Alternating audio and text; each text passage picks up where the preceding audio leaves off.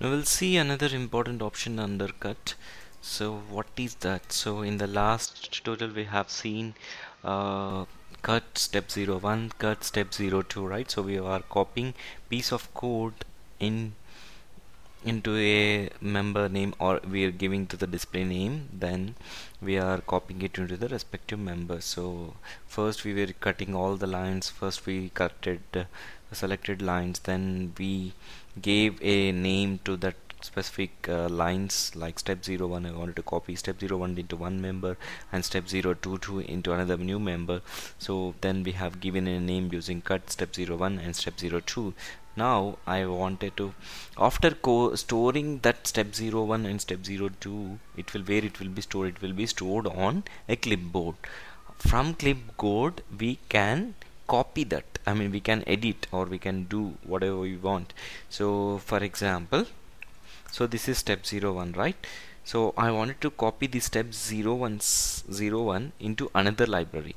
So what can do? Cut step 01 I will be doing so that it has been cut into this right? And now what I want to do is uh, I don't want to use VB I wanted it to use as FB and I wanted to make some updates. So it is already copied onto clipboard. So now how to view the clipboard?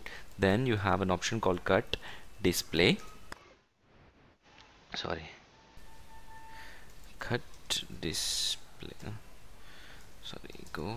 Cut display. Okay so cut to display and here you can see a different options like default step 01 and step 02 and you can see browse clear toggle read only rename delete and edit right? So the, these are the different options you have.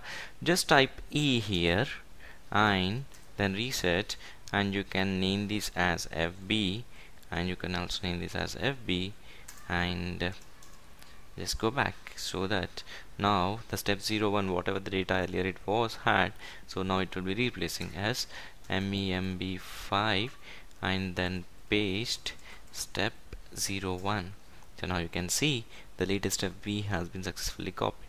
So earlier so what we had was uh, FB, VB then now we copied this one and we cutted this line and uh, we updated at the runtime and we pasted right? So this is how we use a cut command. So thank you so much for watching this tutorial. Please do subscribe to my youtube channel to get more and more updates on mainframe tutorials